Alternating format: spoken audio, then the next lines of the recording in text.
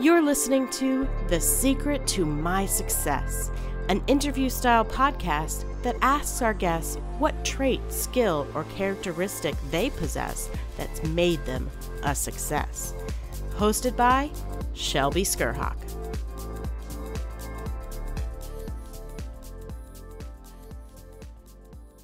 So, Mariana, did uh, back in the day, um, what was your uh, your first cell phone?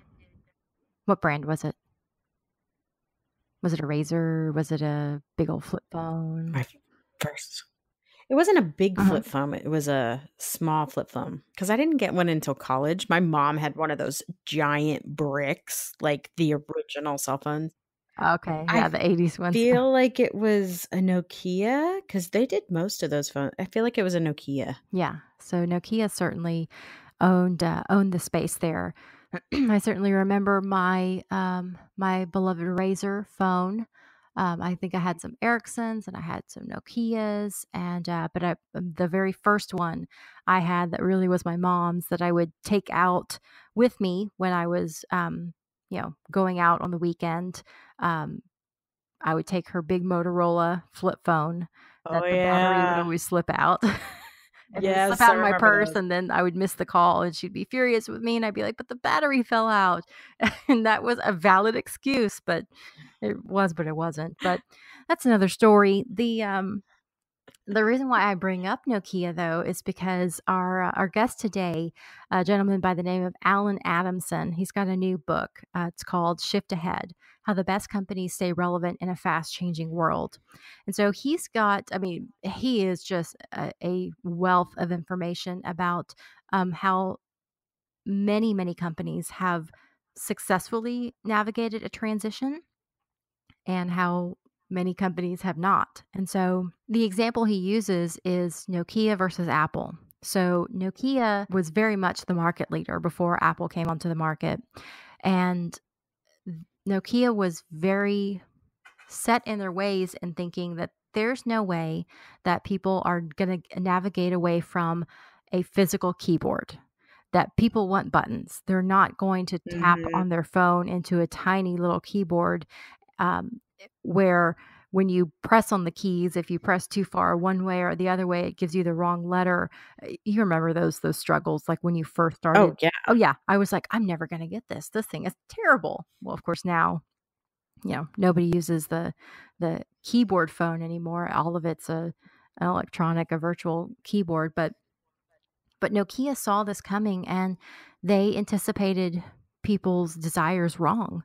They um they simply ignored that type of technology and they you know famously got left behind and so the Mhm. the argument that Allen makes is that there's a lot of examples of companies that miss blaring red red flags, and um, and he actually talks about some of the most prevalent red, red flags in a company's demise a lot of times. So Allen goes through these seven red flags and and we talk about each one of those in this episode. I mean they they cover basic things like basic math. I mean a, a CEO not looking at the right numbers, maybe looking at um, income versus actual profits, or uh, just just realizing that they're not they don't really truly have their their pulse on what's happening uh, with their own numbers. Maybe it's another company that uh, competes on Mhm. price and not differ, differ, dif,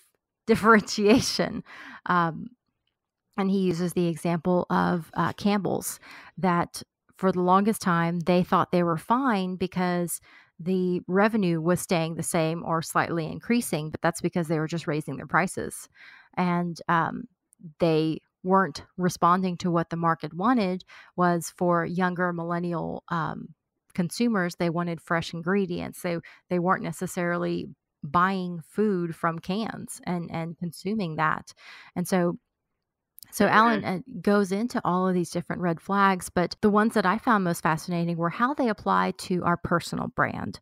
So of course the the personal brand is a little bit of a buzzword, but it just simply means that in this new world of work where all of us are um, are individual commodities, we're not necessarily cogs in the corporate uh, machine anymore. that a lot of times, even if you are in a corporate position, um, you would probably consider yourself a little bit of a um, an entrepreneur, somebody that that thinks uh, very, very ahead, very um, independently, as if this was your own company, as if the department was your own your own company, and Mhm. uh, applying that same position to your your personal pursuits. So whether it's freelancing or taking on, uh, you know, clients for consulting or any different types of um, entries into the U economy, uh, the thing that that Allen talks about is that you've got to realize that the same red flags that that hinder companies uh, not keeping up with the numbers, um, not differentiating yourself, uh, realizing that um, that you're too deep into your comfort zone. All of those things are are the same principles for our own selves. Oh man, just one more thing for me to pay attention to. See, seriously, seriously. I know, I know. So, in this interview, we talk about those seven red flags that he uses uh, corporate examples of companies that have navigated a shift into into a newer market or a new space uh, very well, and some of those that haven't. And then he applies all of those red flags to our own personal brand and how the same mistakes that com- that corporations make a lot of times are the same mistakes that we may set we ourselves may make. And so he uh, gives a great outline and a great uh, kind of red flag navigator to be able to succeed in the U economy or the gig economy and um, and bring a little bit of extra self awareness to what we're doing to realize that resting on your laurels, um, resting on on the very last great thing that you created, and not continuing to push yourself and to change and to learn and basically have this growth mindset that we talk about so much. That that's the same downfall that companies face, and that we have to face it as individuals too.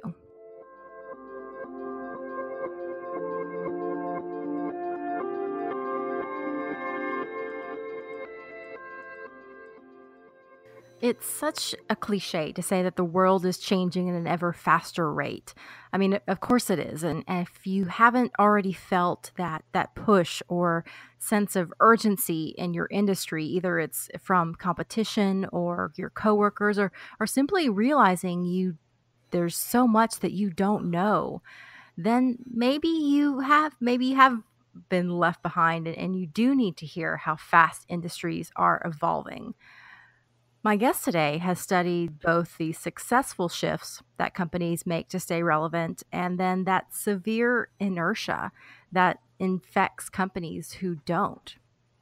Allen Adamson is a branding expert and author of three books, including Brand Simple, Brand Digital, and his latest, Shift Ahead How the Best Companies Stay Relevant in a Fast Changing World. In his extensive research and numerous interviews with company executives, he's found that the secret to success for staying not only afloat, but staying relevant is shifting ahead of what he found these seven red flags for irrelevancy. Allen, thank you so much for joining me. Pleasure. Thanks for inviting me.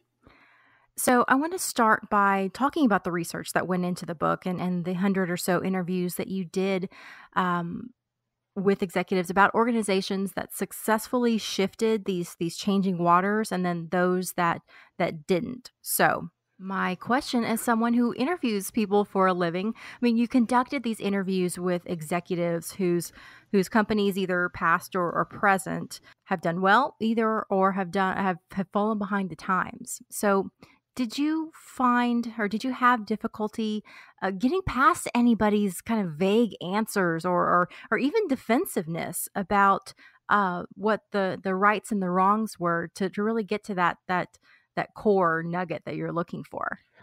Yeah yeah we went into this saying gee I, I was getting more and more calls when i was running a company saying can you help me and i would listen to the uh, prospect tell me their challenges and i realized that marketing and traditional tools would not help them. They'd become their father's Oldsmobile. Mm. So there was nothing to do. There was no way to spin it, just uh, or put, as the famous saying goes, lipstick on a pig. You know, they're, they they had become irrelevant.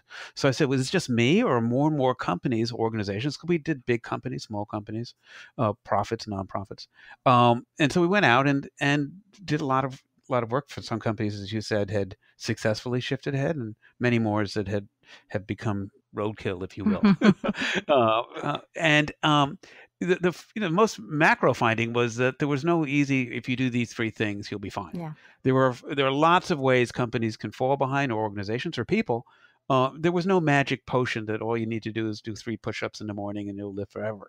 Uh, but I we found that the the mistakes, if you could avoid lots of the obvious mistakes, and people sort of know many of them, you would stand a better chance to stay relevant than if you fell into one of the many many many road traps. Right. Um, so um, you know the other thing, as you said in your opening, is that um, we thought, is the world really changing faster, or is it just technology in Silicon Valley and everything else is just going fine? Uh, and the change is happening across industries, Yeah. across categories. So, yes, if you're in technology, you realize that if you're here today, it doesn't mean you'll be here tomorrow. but obviously, the media business, uh, the book business, eh, you know, so many businesses are being challenged. Well, so often a, a company's problems are, I guess, the result of maybe the team's symptoms.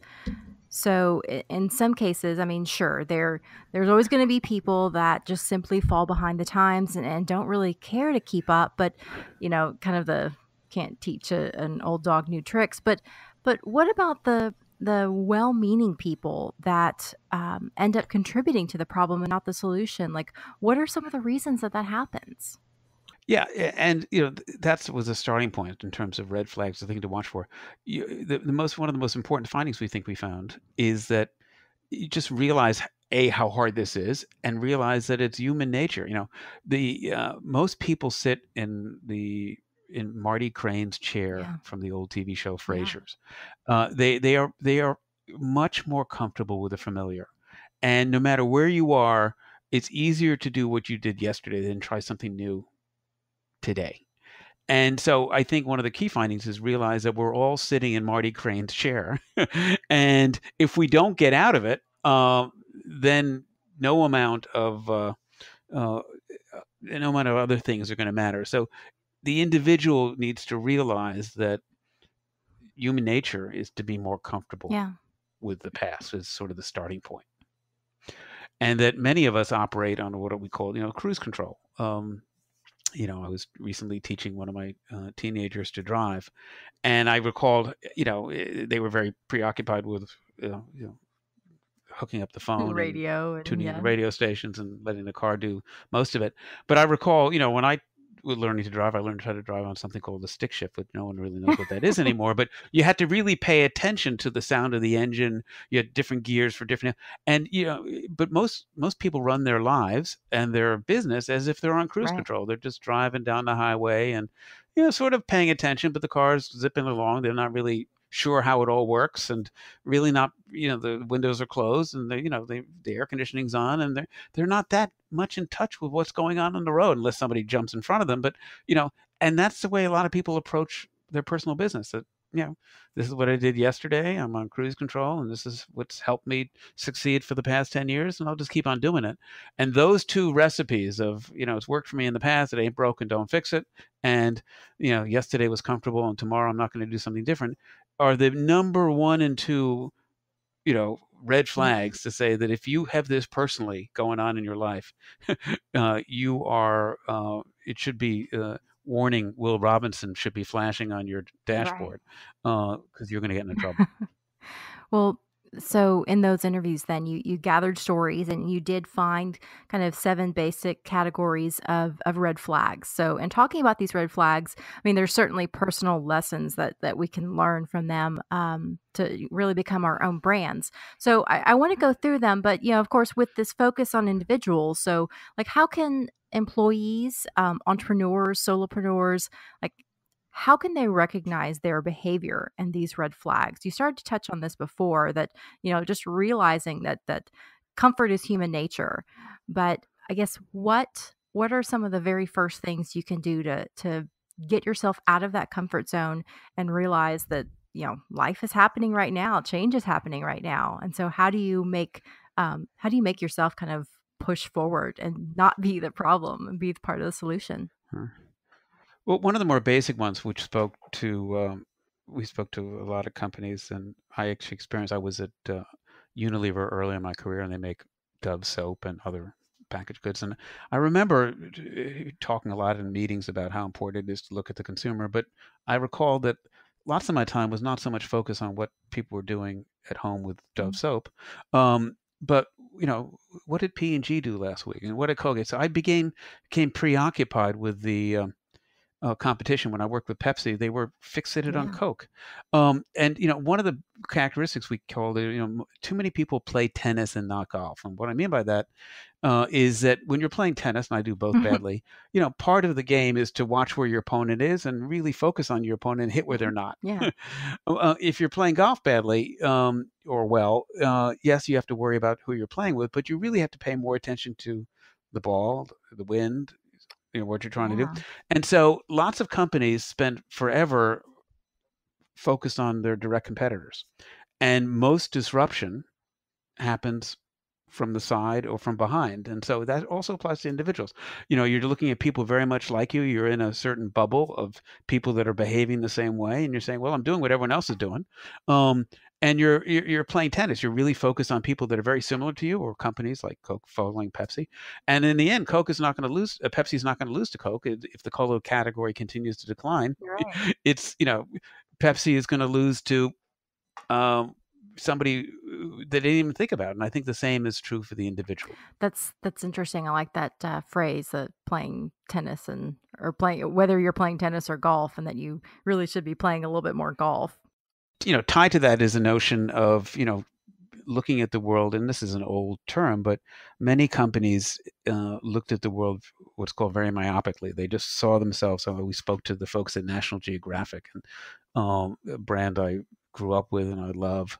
And you know, when we talked to them, I said, you know, tell me how you what happened. And they almost disappeared, and it's they're going to survive now, but they came really close to disappearing because they saw themselves as a magazine brand.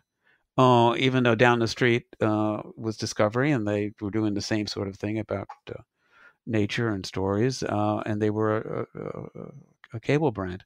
Uh, so they almost didn't make it because they saw themselves in the magazine business and not looked at what their strengths were, and their strengths were, you know, understanding nature, understanding the environment, and say, so if if we have this strength of really understanding, what else can we do with it? And I think it's a really good story to apply to the individual.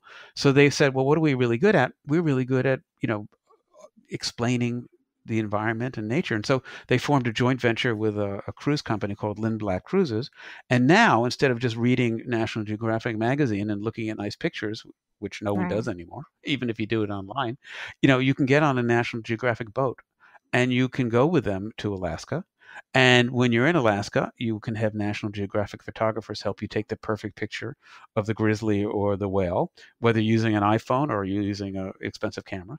You have National Geographic naturalists take you on walks uh, and explain what's going on and be with you. And so you have a National Geographic experience.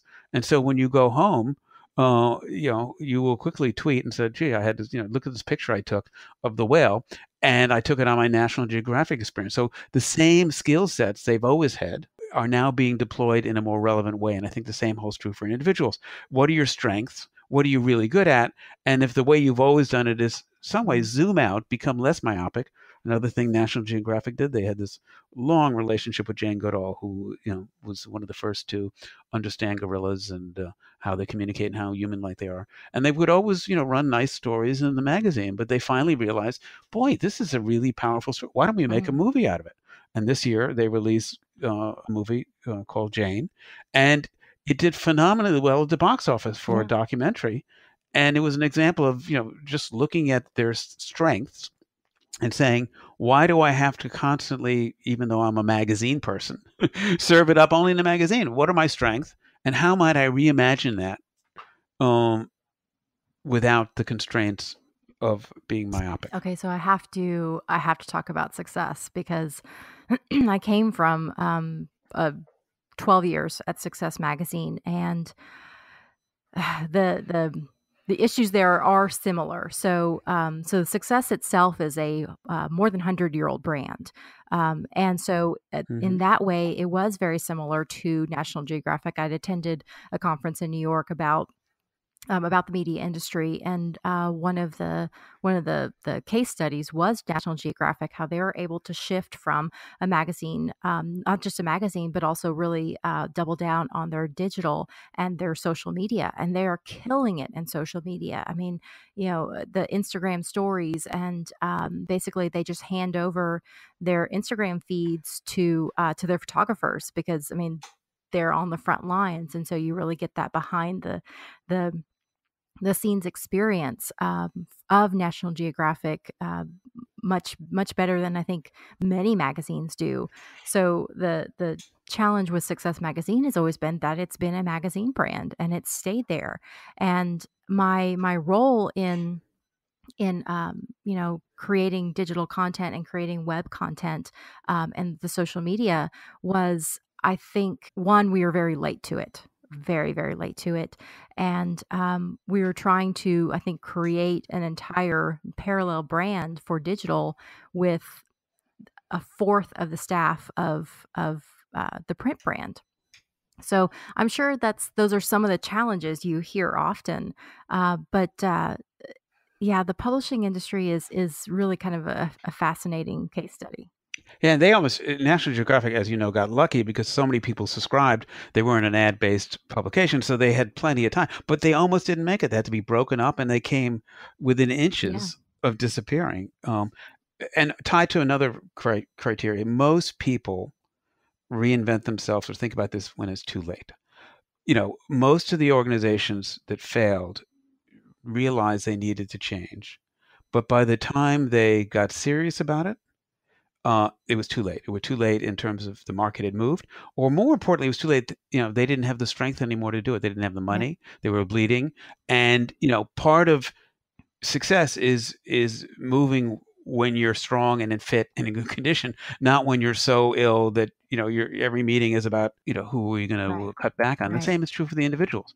Um, you know, you need to um, dis- when you decide to do something, do it when business is good. You know, the the the, the other um, it goes to the we had a great conversation um, with the folks at Marriott, and part of what Ma- Marriott was uh, to, able to shift ahead over these many years is their founder Bill uh, Bill Marriott said, you know, his view was success is never final, and the, if you wait till the sky is falling, you you know, uh, in your own life, it's really hard, even if you have the right idea, to have enough stamina, because yeah most people that's start absolutely true.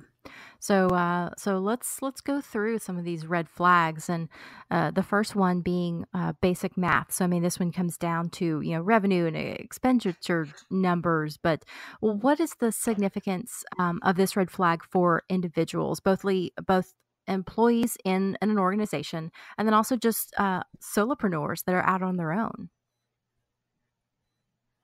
Yeah, I, I think yeah. So the, the the Campbell story was one of many. For and again, usually Right. it's not one thing that causes a company to run into trouble. It's, it's never just oh all you have to do is X, and never just one thing, but a lot of things. But for Campbell's, there a, a series of years they were going through, and you know they would present and they'd show revenue rising, and Wall Street said, "Great, you know money's going up. You must be doing something right." Um, but of course, the story was not that revenue was yes, revenue was rising, but unit cans sold of soup was declining, and they were just increasing the price. So, and I think individuals do the same thing. That yeah, I'm doing okay. This is happening, but they're not really yeah being honest with themselves.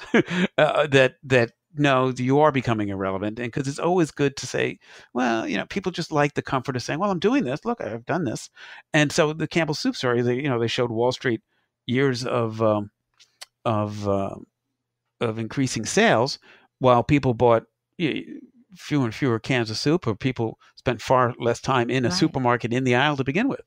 So um, the individual thing happens the same way. You know, uh, gee, I'm still doing this, this, and this, and you know, things are going to be okay because people generally try to be optimistic, and uh, oftentimes, you know, asking a friend to to tell you what they see in you is a more accurate because if, if a you know if they're comfortable sharing bad news because you, you're you're too close to the forest exactly, to see exactly. the trees.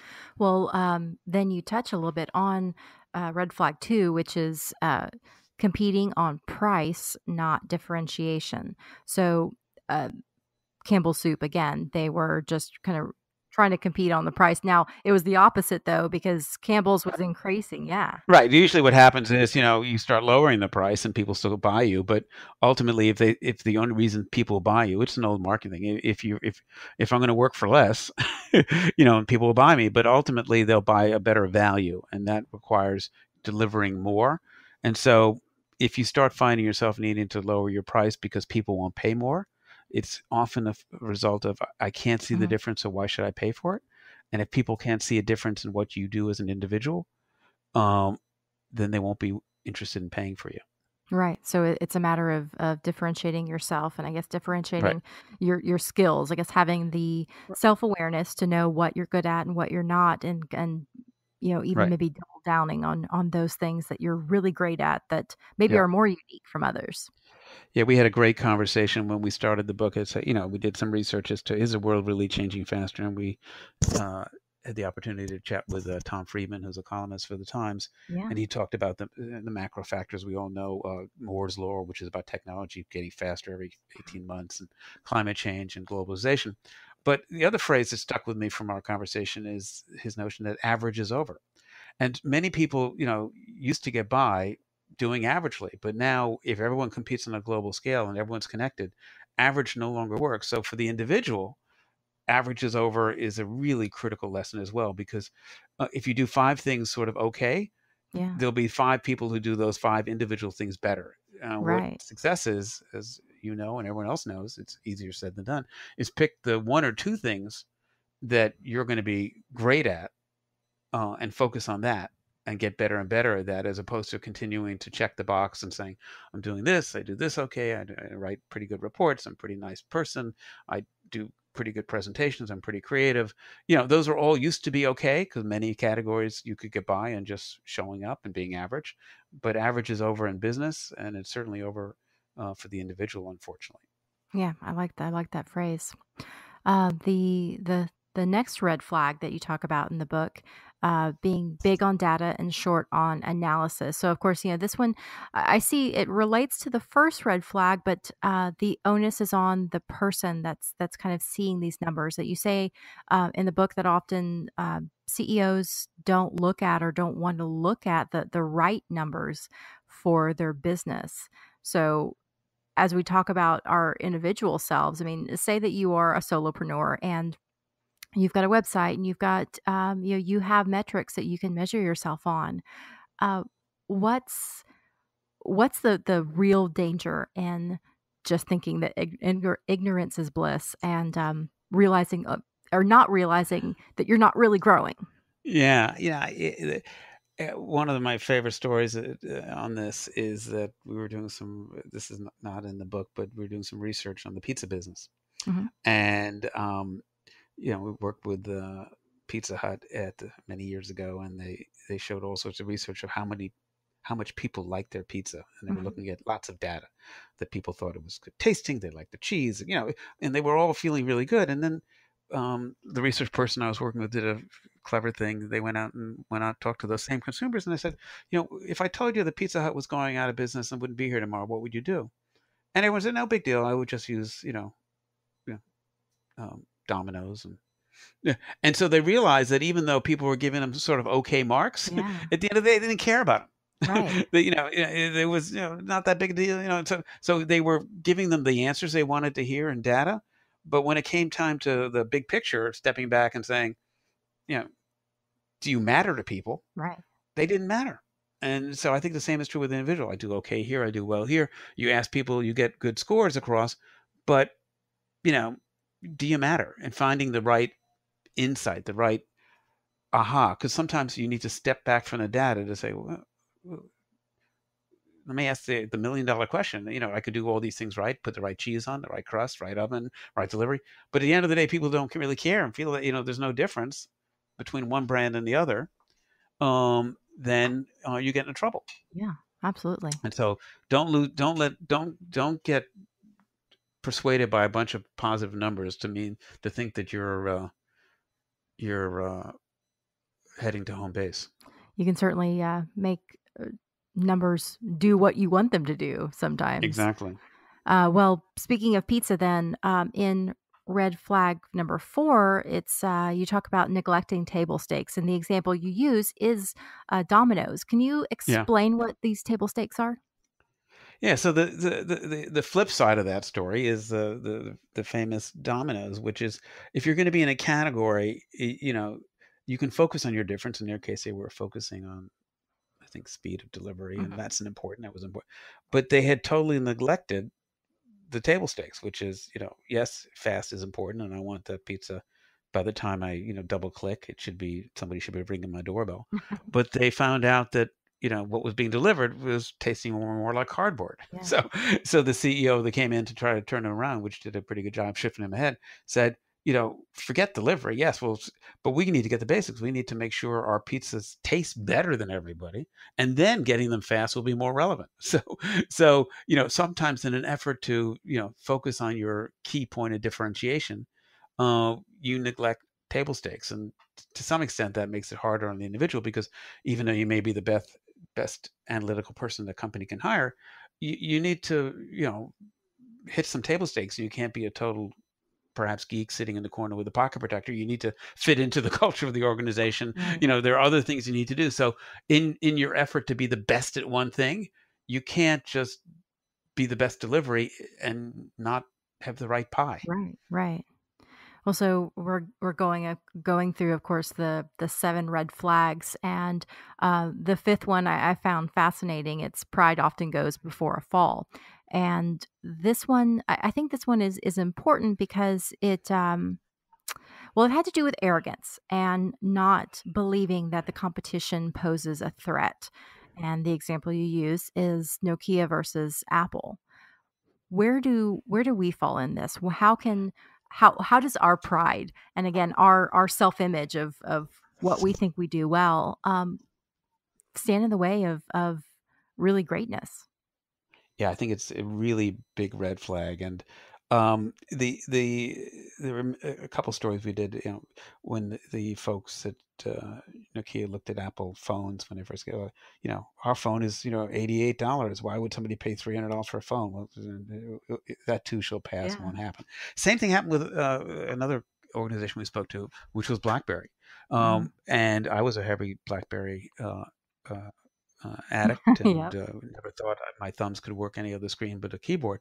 But when we spoke to folks there, there were again there were many reasons, but the number one reason that um, BlackBerry probably disappeared was that their leadership team totally believed people would never give up their keyboards, that people would never take a flat screen iPhone music box as serious. Yeah. So they never they saw Apple right in front of them and it's yeah, you know, it's a fad. It's a, you know, it, you know, BlackBerry is a serious business tool, and people are never going to give up there. And so they had that arrogance, and I think that's really important for the individual. When people think they're good, they know what they're doing. They're the top, top of the pack, and you know, I'm never going to be challenged. No one's ever going to replace me. I'm perfect. Um, you know, that's that should be probably the number one red flag. Saying once you feel that you know you're you're you, know, you also close down to new ideas and you stop paying attention to what's going around because you say i'm i'm i'm king of the hill. Yeah, absolutely. Well um moving on to red flag six and we we talked about this uh, before but it's being too deep in your comfort zone and this of course speaks very much to to individuals. Why are comfort zones just so dangerous um, because people are in a bubble, you know, they they like to surround themselves with people that agree with them. Yeah. and um, and you see that happening in, in social media that uh, you know one of the you know they're just comfortable with a quiet um yes you're great this is fine keep doing it and we found that organizations that were pretty good at shifting ahead tended to have um management teams that came from different places. They all didn't go to the same school. They all didn't, you know, grow up in the same town. That organizations that are pretty good at shifting ahead, you know, tended to have an ability to look at the world through multiple perspectives mm. and not be in the bubble that reflects back everything they believe in, in their ecosystem. And the same with the individual. If you want to uh, shift ahead personally, you know, our advice, my advice would be, you know, get out of your comfort zone, get out of, um, get out of the, you know, shop in a different place, have coffee in a different place, uh, go to a different neighborhood, go to a different movie, you know, get out of your routine because if it's too close in that bubble, you're not going to be exposed to changes that are soon going to run you right. over. Well, and I think this also has an application to the uh, the information that we expose ourselves to. I mean, uh, there's there's been a lot of talk about social media and um, you know, the, of course, facebook shift to put the the um, focus on individuals and less than um, than organizations and, and news outlets a lot of uh, a lot of times because of the fake news. But it, there is there does lie a, a, risk though that if you immerse yourself in um, only the information that that you agree with only the the topics that you're interested in and you ignore the rest of the world then you are uh, only seeing a very small picture of of a, uh, a small view of the big picture right Exactly. Uh, one quick story when I was coming out of business school and interviewing for my first job, and I went through the eight interviews at this ad mm-hmm. agency, and I thought I knew everything about marketing. I finally met with the CEO at the time, uh, Ken Roman, and uh, I thought, this is it. I'm going yeah, I'm going to try to impress him with as much how much I know about marketing and advertising and brands, and I'm ready for what is his first question going to be? And his first question is, "So, Allen, uh, you had a good day, huh? yeah? So, tell me about the last book mm. you read, Allen, and why you found it interesting." And I, book? I mean, not a marketing right. book. And so I, he said, "Tell me about the last movie you went to, and why did you find it?" And uh, and and then, so I was really yeah. off guard. And afterwards, uh, I said, "You know, Ken, why did you? Why did we spend half an hour of our forty minutes together talking about, you know, books, movie theater, yeah. travel. And he said, look, I want our people to be the eyes and ears for our clients. And, you know, to do that, they need to be in touch with what's going on in the world.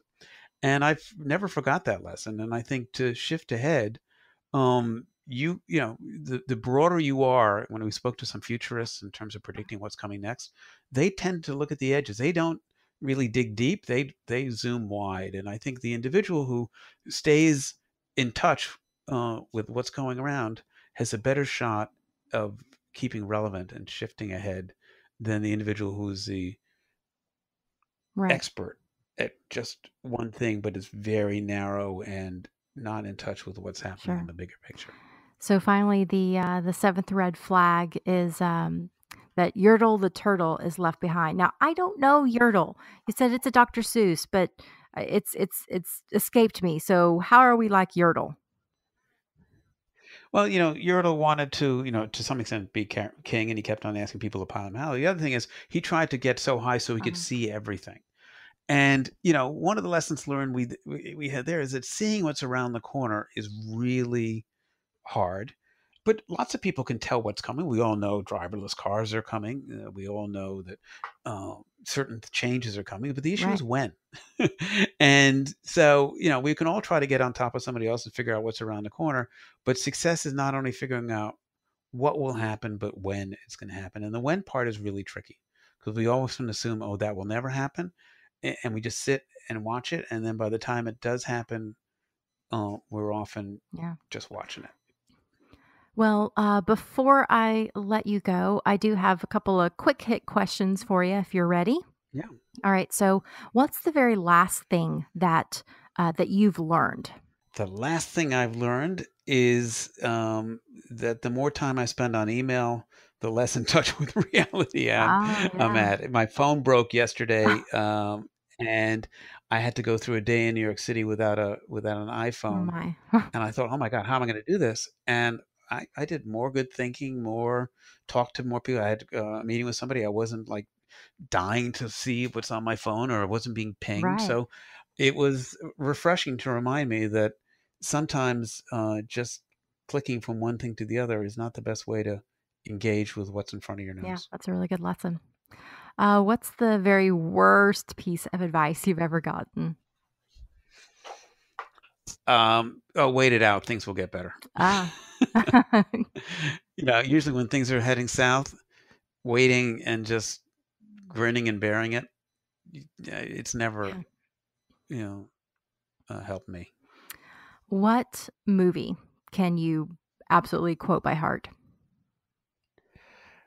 Oh goodness, that's a great, uh, great question. I, you know, probably um, uh, one of the classics uh, since I, you know, um, actually the movies I can quote by heart are the ones uh, my kids forced me to watch twenty five thousand times. So, you know, I can probably rewrite the Incredible script Yep. and you know Toy Story uh, because I saw those movies uh, all delightful. I never saw them once. Yes. I, I if I saw them twenty five times, it was probably a good a, a good Oh gosh, I know.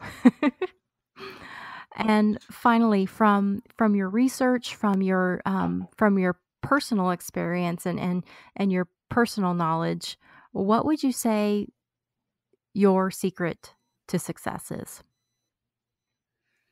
Uh, I think curiosity. You know, I, you know, you got to go through life saying, you ever wonder why this happens? And if you're not curious about, I mean, how how do they do that? How do they make the car? How do they, you know, why is this building, you know, doing well? Why is this one not?